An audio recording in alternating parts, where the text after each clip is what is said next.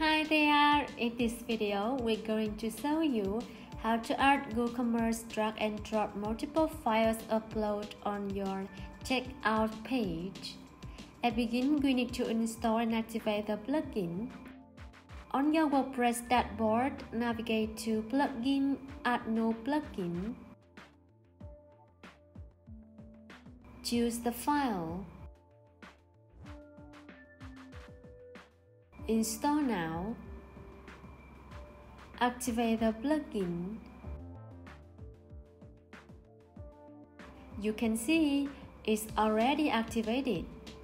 Then you will need to go to the plugin settings page.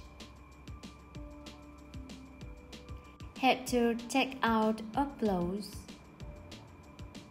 At here, you can configure file upload options change the label.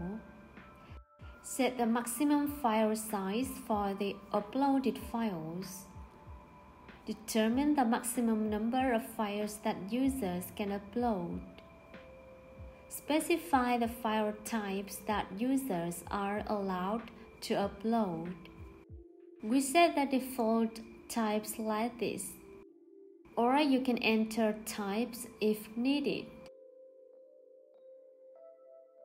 You can also replace the default text.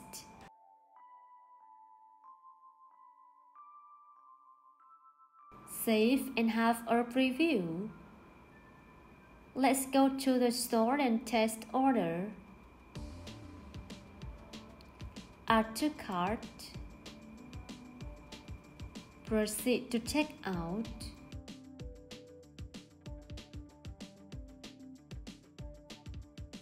Drag and drop files.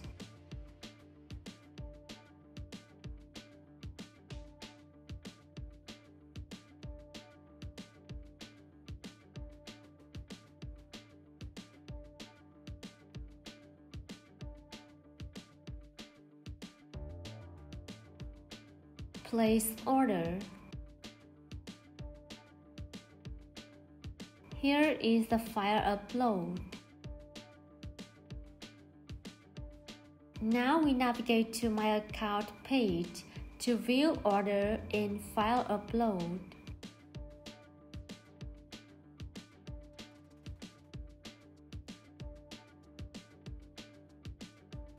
Click to the link to download and see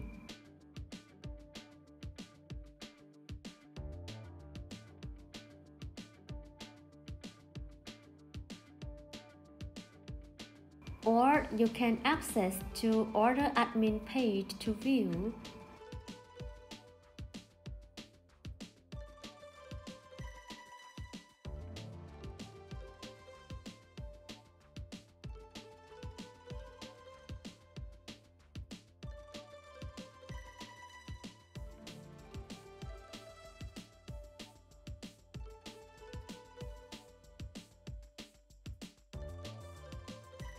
It ends here. Follow us to get new updates in the future.